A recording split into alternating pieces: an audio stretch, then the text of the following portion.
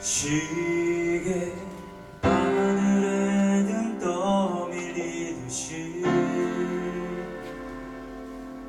살아가기 위해 사는 것좀 아닌 것 같아.